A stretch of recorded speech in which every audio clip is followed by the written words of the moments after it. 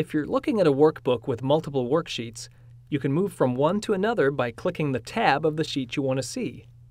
Excel then brings that worksheet to the top of the stack, displaying its information in the current workbook window. You can always tell which worksheet is current because the name is in bold type on the tab, and its tab appears as an extension of the current worksheet with a bold line appearing along the bottom edge.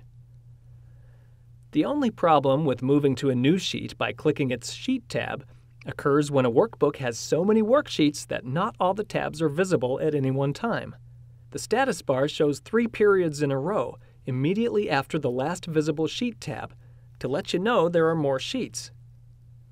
To bring new sheet tabs into view, click the Next Tab scroll button to bring the next unseen tab of the sheet on the right into view.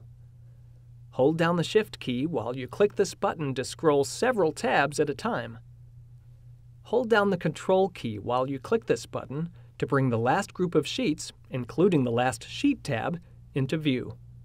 Click the Previous Tab scroll button with the triangle pointing left to bring the next unseen tab of the sheet on the left into view. Hold down the Shift key while you click this button to scroll several tabs at a time. Hold down the Control key when you click this button to bring the first group of sheet tabs, including the very first tab, into view.